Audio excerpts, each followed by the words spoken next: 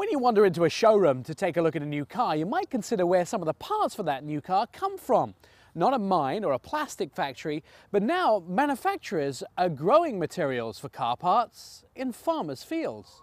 At the end of the farming season, any straw left in the fields is burned, but Ford have found another use for it. The air ducts and storage bins in new cars. That foam padding that makes up the soft part of the seats that you sit on is now made from soy foam. More than 31,000 soybeans go into every new Ford Escape, and Ford supply team buy more than 5 million pounds of soy every year. This manufacturing with farm-grown products is nothing new for Ford. They had vehicles in 1941 that used soybeans in the fiber construction. When Ford launched the 2007 Mustang, very few customers knew that the seats were made of soy foam. Although the petroleum-based foam and soy foam prices were the same at the time, as oil prices began to rise, the use of soy foam saved Ford and their customers money. And it's not only farm products that go into the modern car. Ford is taking used water bottles from auto shows and recycling them into seats in some of their new cars. Now, 20 pounds of soy foam goes into 3 million Fords manufactured every year.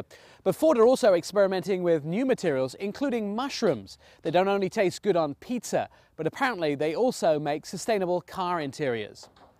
I'm Nik Miles.